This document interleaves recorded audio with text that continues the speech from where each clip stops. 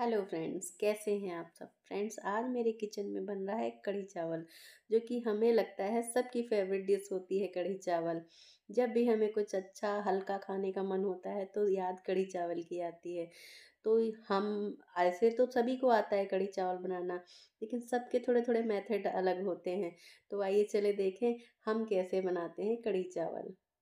है कढ़ी चावल। कढ़ी चावल बनाने के लिए सबसे पहले कढ़ी बनाते हैं, उसकी तैयारी में एक मिक्सिंग बाउल में एक कप बेसन लेंगे, उसमें डालेंगे बारीक स्लाइस कटी हुई प्याज, दो हरी मिर्च, लहसुन अदरक का पेस्ट थोड़ी सी हींग और हल्दी पाउडर और अजवाइन आधा चम्मच नमक स्वाद अनुसार। इन्हें बेसन में मिलाकर थोड़ा थोड़ा पानी डालकर इसे घोल, इसका घोल तैयार करेंगे जिससे कि इसकी सॉफ्ट पकौड़ियाँ बनाई जा सकें। बहुत से लोग इसमें बेकिंग सोडा या सो, मीठा सोडा भी डालते हैं, जिससे कि पकौड़ियाँ बहुत फूली सी रहें, लेकिन हमें लगता है कि इससे स्वाद में थोड़ा अंतर हो जाता है। अब हम इसे अच्छे से फेंट करके, जितना फेंटेंगे ये पकौड़ियाँ उतनी फूलेंगी और इन्हें तेल गरम करके गोल्डन ब्राउन होने तक तल लेंगे और इन्हें छान कर निकाल लेंगे।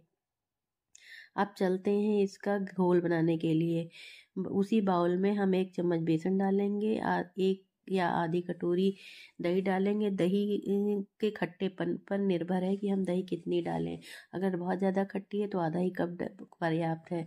और उसमें हरी वो सॉरी, लाल मिर्च अगर आप चाहें तो हरी मिर्च भी डाल सकते हैं, हींग और हल्दी और नमक डालकर इससे, इसका घोल बना लें और उसमें पानी इतना डालें जितना कि हमें कढ़ी के लिए चाहिए। आप पैन में घी गरम गरम करेंगे, उसमें डालेंगे मेथी और जीरा और उसे थोड़ा सा तड़कने के बाद उसमें डालेंगे एक छोटी बारीक कटी हुई प्याज, अदरक लहसुन का पेस्ट और लाल दो लाल मिर्च तोड़ करके और हरी धनिया बारीक कटी हुई डालकर इसे भूनेंगे।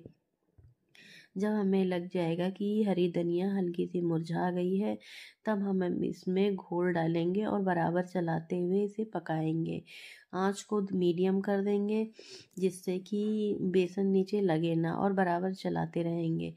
जब इसमें बॉयल आ जाएगा तो आँच को धीमी कर देंगे और इसमें डालेंगे पकौड़ियाँ। और कहते हैं कि कढ़ी में जब एक सौ सत्ताईस उबाल आ जाता है तो कढ़ी पक के तैयार होती है। यानी कि कढ़ी को बहुत अच्छा समय लगता है पकने के लिए। इसे तेज़ आँच पे एक बार बॉयल आने के बाद पकौड़ियाँ डालकर इन्हें धीमी आँच पर 10 से 15 मिनट पकने दें। अब चलते हैं चावल बनाने के लिए। चावल को धुल कर अच्छे से दस पंद्रह मिनट के लिए भीगने को रख दें, जिससे कि चावल बहुत ही सॉफ्ट बन के तैयार होंगे। और क्योंकि कढ़ी के साथ चावल बहुत ही सॉफ्ट चावल अच्छे लगते हैं, भरे चावल इसके साथ बिल्कुल स्वादिष्ट नहीं लगते हैं। अब इसमें चावल का दोगुना पानी या दो अंगुल ज़्यादा पानी डालकर चावल पका लेंगे और कढ़ी चावल सर्व करेंगे। अगर आप चाहें तो इसके साथ दूधी रोटी भी सर्व कर सकते हैं, लेकिन हमने बनाया है कढ़ी चावल। सो so फ्रेंड्स कैसी लगी ये मेरी कढ़ी चावल की रेसिपी हमें ज़रूर बताइएगा।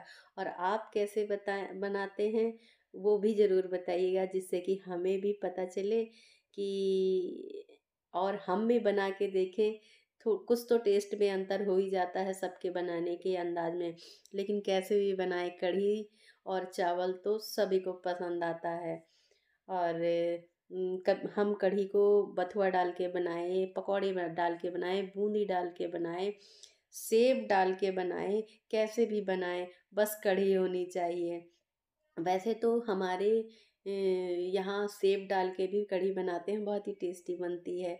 और मेरे पूर्वांचल में तो कढ़ी में मसाले नहीं पड़ते हैं, सिर्फ़ खटाई और मिर्च नमक और मिर्ची पड़ती है, वो भी बहुत ही स्वादिष्ट लगती है और कढ़ी के साथ खाते हैं, दोहती रोटी और चावल और ठंडी कढ़ी का तो स्वाद मत ही पूछिए।